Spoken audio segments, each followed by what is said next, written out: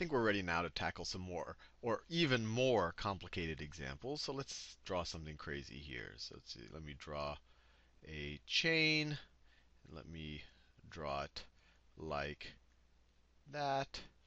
And so, like we've done in all of the examples, you want to find the longest chain. We could count from here 1, 2, 3, 4, 5, 6, 7, 8. Or maybe it's 1, 2, 3, 4, 5, 6, 7.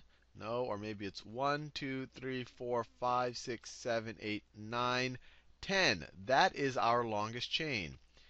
Let me just let me make that in green. So our longest chain here is in green. So this decade, this sorry, this backbone has 10 carbons in it. The prefix for 10 is dec. It is a alkane since it has all single bonds. So we can write decane for the backbone. And then it has a group right here. It has a group right here. And this group consists of one, two carbons attached to the backbone. The prefix for two carbons is eth, so this is an ethyl group. The YL is because it's a group attached to the main alkane chain. So we call this ethyl ethyl decane. But we have to specify where the ethyl group is attached. And we want to give it as low of a number as possible. So we start counting on the side closest to it. So it's 1, 2, 3, 4, 5. So this is 5 ethyl decane. Now let's complicate this a little bit more. So let me just copy and paste this. Copy and then paste.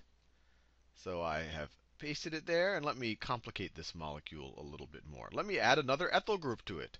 Let me add another ethyl group to it. So let's say it is, we have another ethyl group over there. Now what is this going to be? Well, we still, the longest chain is still going to be that thing in green. So it's still going to be a decane.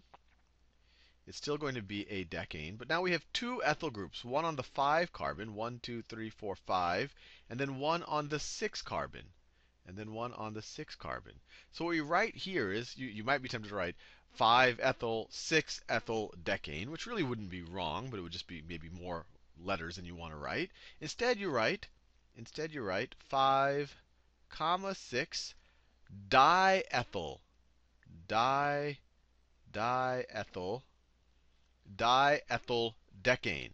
The 5, 6 tells us the two carbons on the main backbone that the ethyl groups are attached to. And the di says that we have two ethanes, or two ethyl groups, I should say, not ethane groups. Two ethyl groups, one over here and one right over here.